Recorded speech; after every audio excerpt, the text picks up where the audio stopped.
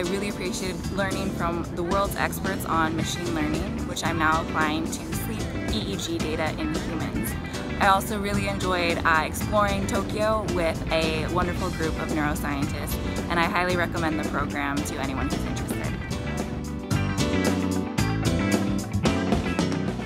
I really like the focus of the program gives an opportunity to explore a new field or learn a new cutting-edge technique along with meeting some of the most prominent scientists of the field. The days I spent in Japan is very impressive. I've learned a lot from the lectures and the lab tours. I got to meet a variety of scientists from Japan as well as the States, really in a very unique environment. It's different than a lot of the sort of conferences that I've been able to attend in the States and even in Europe.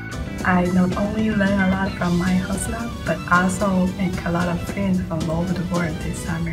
It is a very amazing and awesome experience. Uh, the facilities are way more, big, way bigger than the ones we have in Bordeaux. Uh, I got the RIKEN BSI grant, which uh, encompassed both uh, accommodation and flight.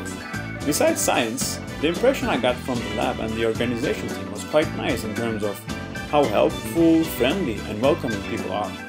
Also in RIKEN, there is a huge and excellent scientific community that organize almost every day scientific and social events so that you can increase your exposure to the research fields of your interest.